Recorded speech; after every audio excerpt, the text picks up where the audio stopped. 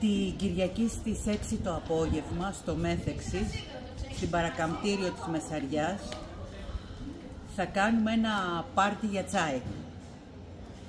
Ε, μπορεί το πάρτι να μην είναι πολύ ελληνική λέξη, αλλά εμείς έτσι αισθανόμαστε, γιατί θα έχουμε μουσική, ε, ελπίζουμε ότι θα χορέψουμε, θα πούμε ιστορίες και θα κάνουμε και πολύ πολύ, θα, θα έχουμε πολύ πολύ γέλιο.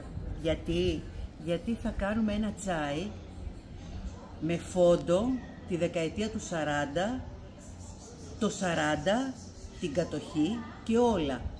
Η μουσική, ε, οι άνθρωποι που θα μιλήσουν που είναι 96, 97, 98 χρονών. Η μουσική, οι άνθρωποι και οι ιστορίες που θα διηγηθούν και θα κάνουμε τα κουσέλια, όλα είναι για ανθρώπους που έχουν αφήσει ανεξίτηλο το χνάρι τους πάνω σε αυτό το νησί. Ε, θέλω να σας πω ότι θα μάθετε τρομερά πράγματα, γιατί έρχονται και δύσκολοι καιροί.